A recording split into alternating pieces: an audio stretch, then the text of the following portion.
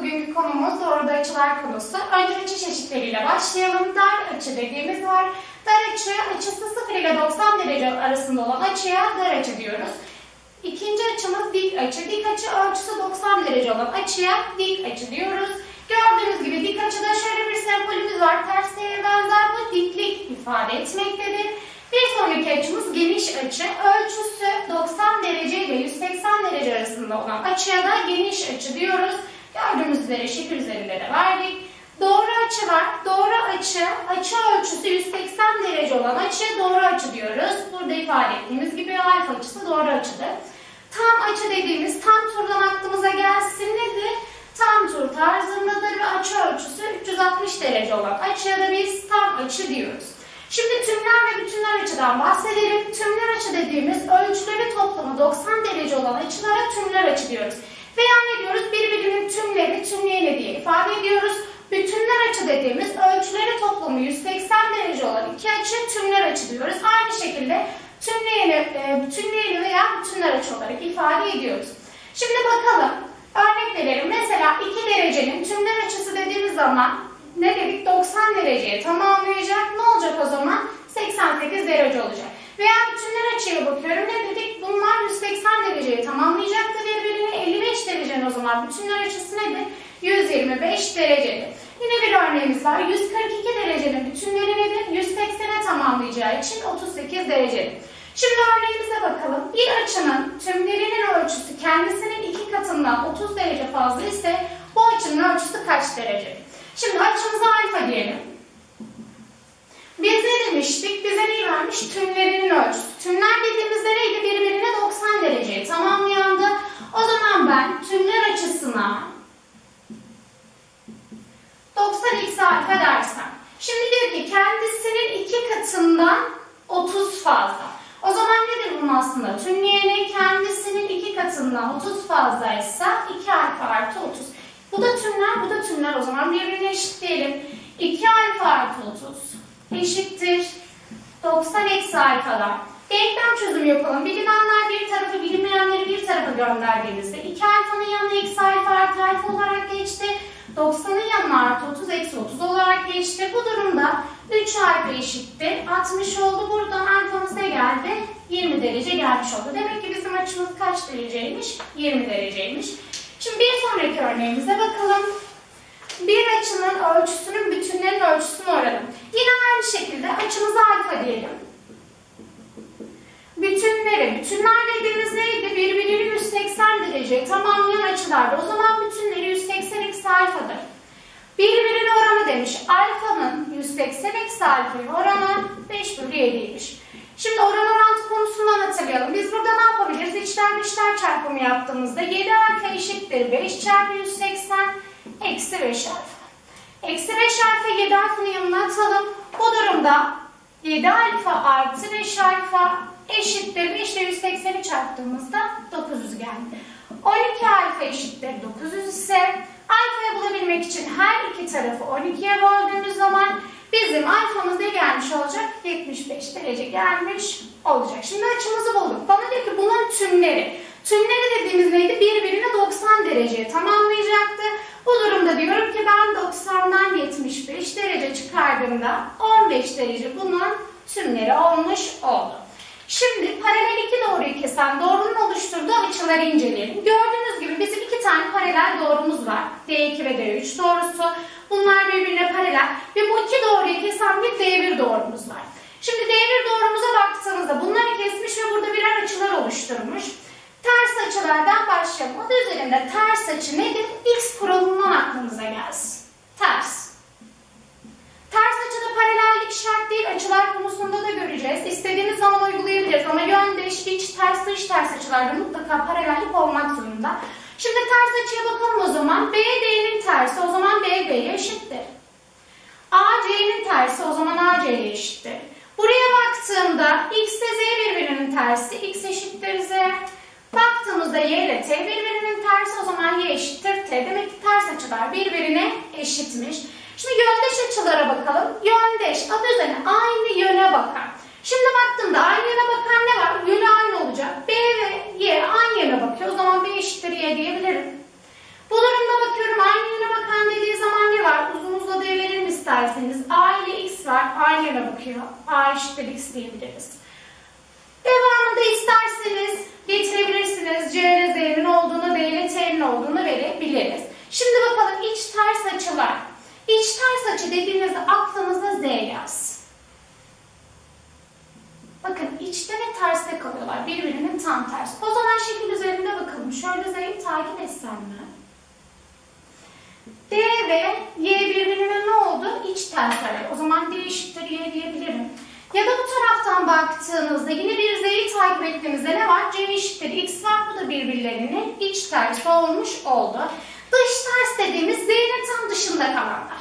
Z'yi takip etmiştik ya dıştan birbirinin tersi olanlar. O zaman bu durumda ben diyebilirim ki B eşittir T'dir. Bunlar birbirinin dış tersi.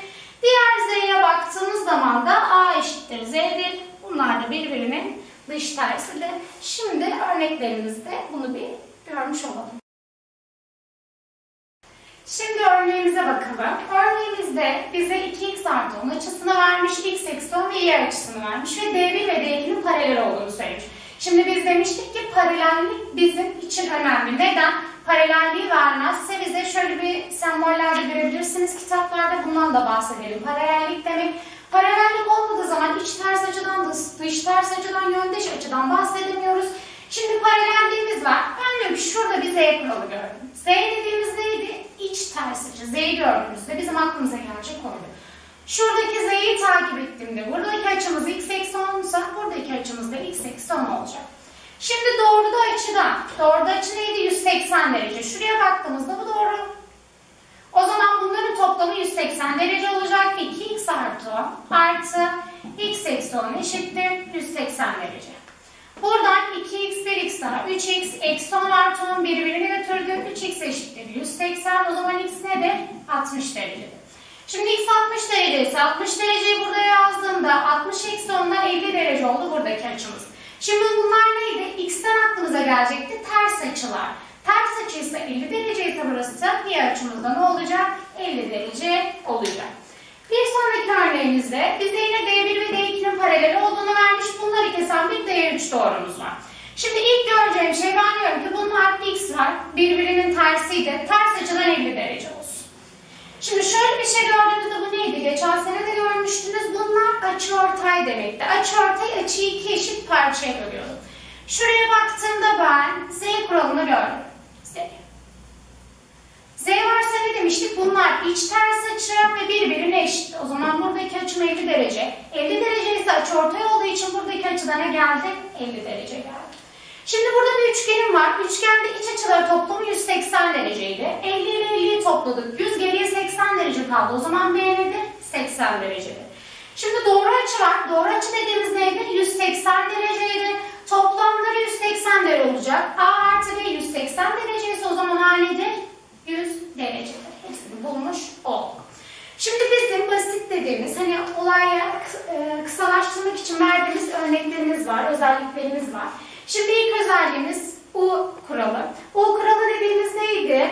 İster bu şekilde verebilir, ister şöyle verebilir. Yine birbirine paralel doğrular var. İsterse şöyle ters şekilde verebilir. Bu doğrular arasında arada kalan açıların toplamı yani x artı y'nin toplamı 180 derecedir. Z kuralı iç ters açıda bahsetmiştik zaten. Ne demiştik? Bunlar birbirine eşittir. Şimdi M kuralımız var. M kuralı dediğimiz içe bakan açıların toplamı dışa bakan açımıza eşittir. Bu durumda A artı B'nin toplamı C'ye eşit gelecek. Şimdi zikzak kuralı diyoruz biz buna. Zikzak kuralı dediğimiz neden? M'nin geliştirilmiş hali. Yine bakın içe bakan açılarımız var, dışa bakan açılarımız var. Şimdi burada içe bakan açıların toplamı dışa bakan açıların toplamına eşit olacak. Bu durumda A artı B artı C X artı Y'ye eşit gelmektedir. Dediğimiz kuralımız fark ettiyseniz şurası kalem ucuna benzer. Kalem ucunda da 3 tane açımız var. İç kısımda kalan bu açıların toplamı 360 derecedir. Bumerang kuralı roket kuralı da diye geçebilir. Buradaki kuralımızda da içteki açılarımızın toplamı bakın iç kısımda kalan açıların toplamı x artı y artı z alfa açısına eşittir. Şimdi örnek üzerinde bakalım. Biz örneğimizde demiş ki PK doğrusu RM doğrusuna paralel. Paralelliğimizi şöyle bir gösterelim. Paralelli vermiş ve demiş ki buradaki LKP açımız Takip edelim. LKP açısı şuradaki açımızı vermiş. Bir de ne demiş? 2 LKN açısına. Yani LKN açısına A dersen LKP açımız 2A geliyormuş. Takip edelim. LKN. Şuradaki açımız A ise buradaki açımız neymiş 2A. Sonra LMR açısı. LMR. Arada kalan açımız şuradaki açı. Bu neymiş? İki tane LMN açısı. LMN açısı. Yani buradaki açıya B dersek iki katı olacağı için ne olacak? 2B olacak. O zaman B açısı, 2B açısı diyelim. Açıları yerleştirdik. Şimdi bakalım. Benim delik fark ettiğim ne var? M kuralı var. Hatta nasıl M var? İki tane M var. İç içe yerleştirilmiş. Birinci M dışta kalan M. Bir de bizim içeride şöyle bahsedeceğimiz küçük bir M'miz var. Önce isterseniz içerideki M'den başlayalım çünkü burada açı vermiş. İçerideki M'de ne var? M'ye ne demiştik? Dışa bakan açıların toplamı içe bakan açıya eşittir. Bu durumda 2A artı 2B eşittir 84 derece. Buradan iki parantezini alırsak A artı B eşittir 84'ten. Her iki tarafı ikiye bölersek bizim A artı B açımızın toplamı 84 bölü 2'den 42 derece geldi. Şimdi dıştaki M'ye bakalım. Büyük M dediğimiz. Ne demiştik? İki, içe bakan açıların toplamı dışa bakan açıya eşittir.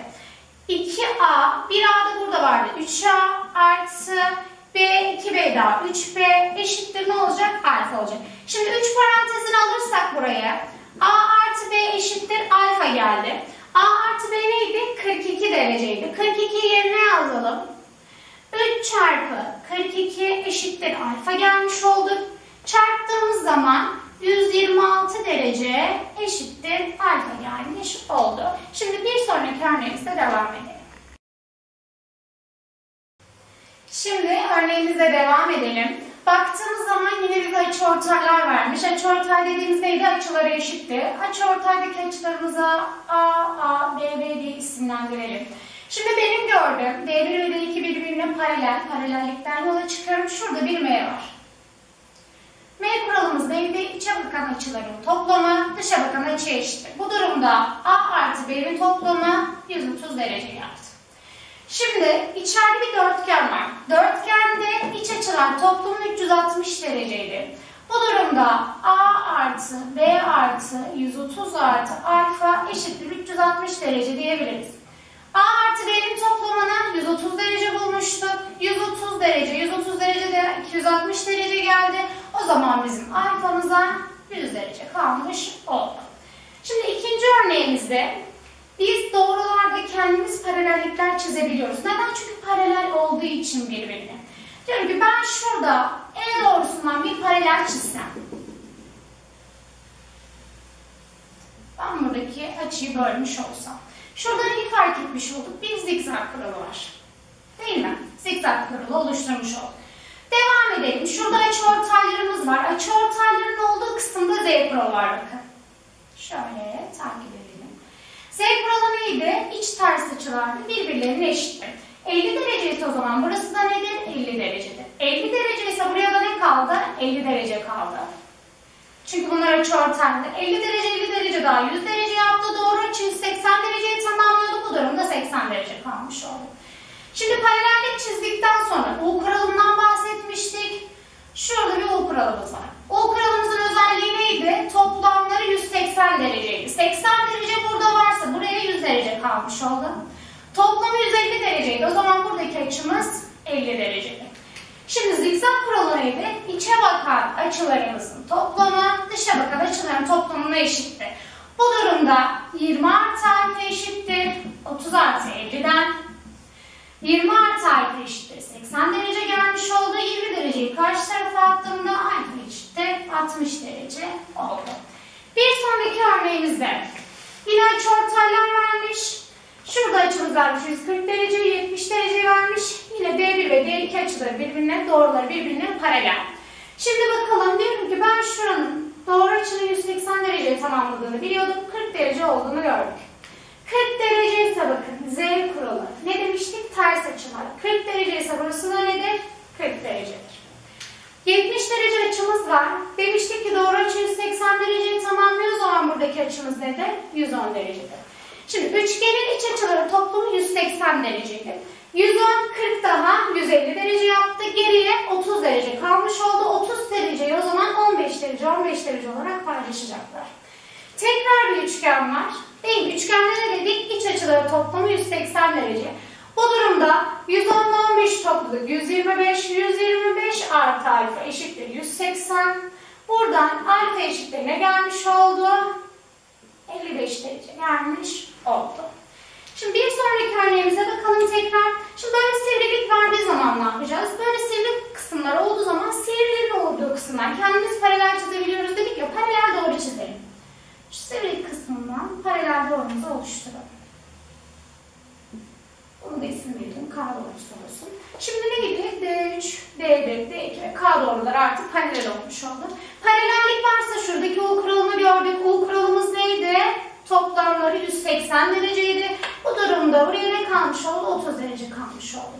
Şimdi açıortay var. Yani buradaki açıları bölüşecekler. Bunu da fark edelim. Şuraya bakalım yine bir ne var? U kuralımız var. U kuralımızın özelliği neydi? Toplamları 180 dereceydi. 110 derece burada varsa geriye 70 derece kalmış oldu. 70, 30 daha 100. 180 derece olması için 80 derece kaldı. 80 dereceyi açıortaylık var. 40-40 diye paylaştılar. Devam edelim. Şuraya bakalım. Fark ettik mi? Yine bir ne var? Z kuralı var. Z kuralı neydi? Ters açılar. Yani buradaki açı buradaki açının toplamı birbirine eşittir. Bu durumda 70 ile 40'ı topladık. 110 derece yaptı.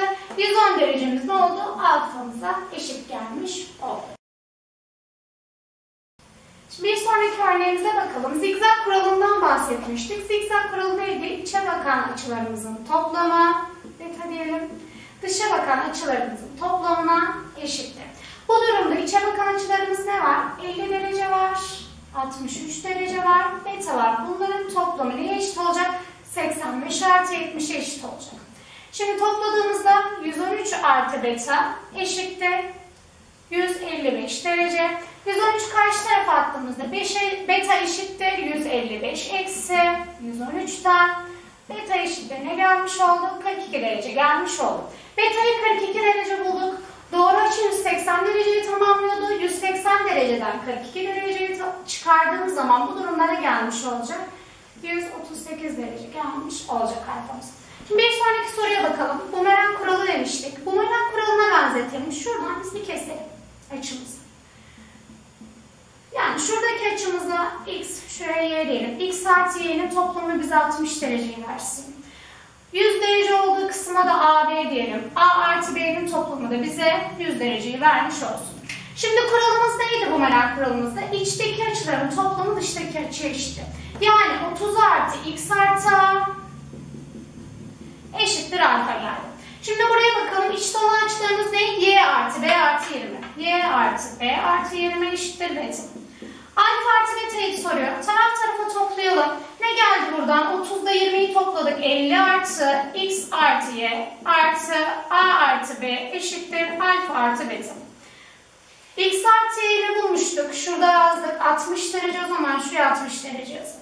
a artı b neydi? 100 derece. 100 derece yazalım. 160 bir de 50 derecemiz var. Buradan alfa artı beta ne gelmiş oldu? 210 derece gelmiş oldu. Evet arkadaşlar doğru da açı konumuz burada bitmiştir. İyi çalışmalar diliyorum.